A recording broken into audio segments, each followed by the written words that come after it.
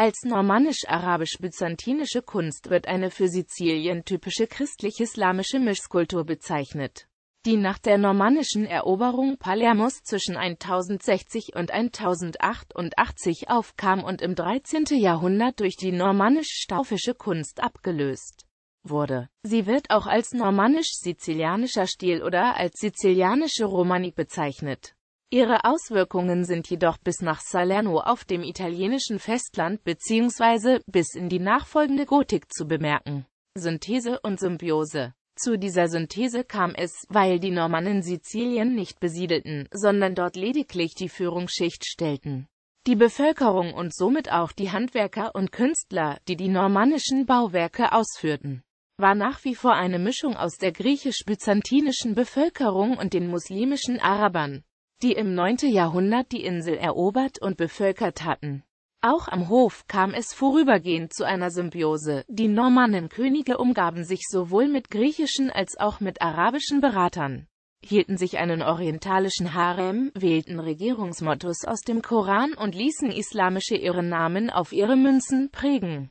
Architektur Hauptkennzeichen dieser Epoche ist ein eigenwilliger Baustil, die Architektur zeigt starke islamische und byzantinische Einflüsse, die zu einer harmonischen Einheit zusammenfließen, da der normannische König Roger II. als Verteidiger des Christentums auf der einen Seite, aber auch als König von Ifriqiya auf der anderen Seite weiterhin Kirche und Papsttum mit großzügigen Bauten zu gewinnen trachtete sind die typischsten Vertreter dieses Architekturstils vor allem Kirchenbauten. Beispiele für Bauwerke im arabisch-byzantinisch-normannischen Stil sind die Kathedrale von Salerno, der Normannenpalast mit der Palastkapelle in Palermo, die Schlösser Mare Dolce, Uscibene, La Cisa, Cuba und Cuba Soprana mit der Cubilla in Palermo, die Kathedrale von Palermo, Viele weitere Kirchen Palermos ZB, San Giovanni dei Leprosi, San Giovanni degli Eremiti, La Maturana, San Cataldo, La Magione. Die Kathedrale von Cefalo, die Kathedrale von Monreale bei Palermo, 1172 bis 1176 unter dem letzten Normannenkönig Wilhelm II. erbaut.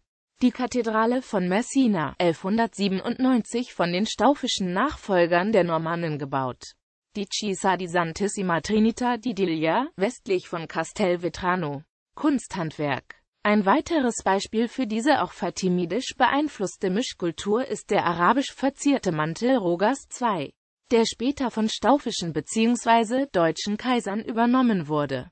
Dichtkunst Aus einer Vermischung normannischer, französischer, griechischer, arabischer und sizilianischer Elemente entstand die sizilianische Dichterschule.